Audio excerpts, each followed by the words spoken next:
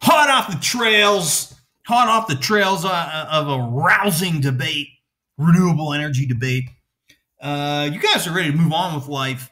Let's get out of the magnetism rut and into some motion.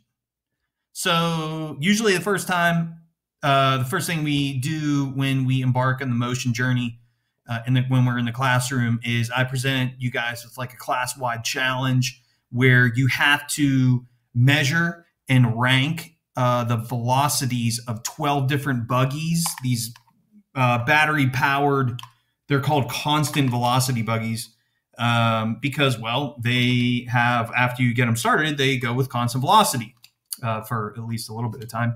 Yeah, so you have to measure and rank them from fastest to slowest or whatever.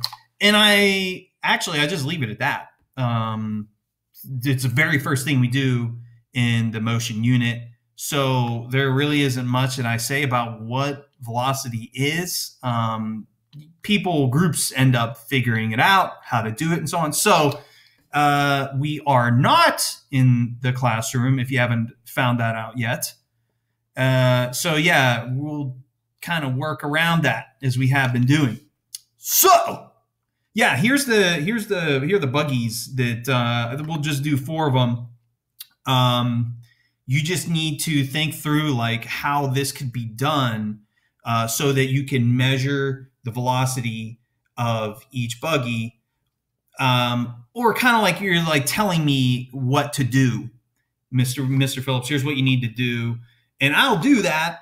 Uh, i'll record it uh, enough so that you're seeing enough you're able to see enough in the vid so that you can at home uh, measure and calculate the velocity of each of the four buggies. Yeah, rank them fastest to slowest or whatever. Okay, but yeah, uh, battery operated switch to turn it on. Look at that thing go! Whoa! It's wacky. Look at the working headlights. That's cool.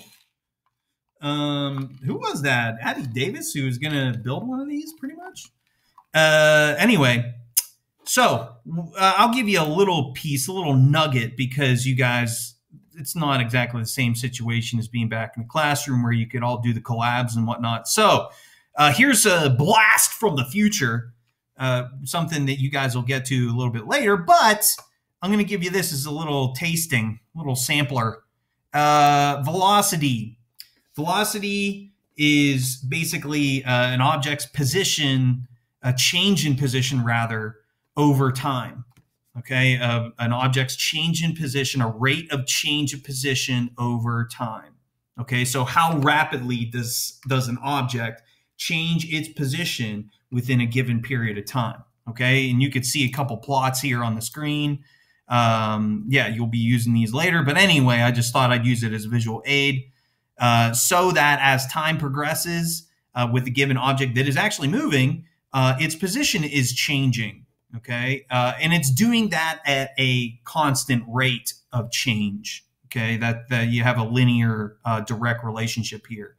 Um, if it, the change in position is not constant over time, uh, then you actually have a constantly changing velocity, which we call acceleration. We're not there yet. Okay. So this experiment, this challenge, whatever, should eliminate acceleration from it or you should not be considering acceleration. You guys are only doing constant velocity, meaning a constant, steady change in position over time. Okay, hopefully that's enough to get you rolling. Let's stop this thing. Stop it! Stop it! I'm tired.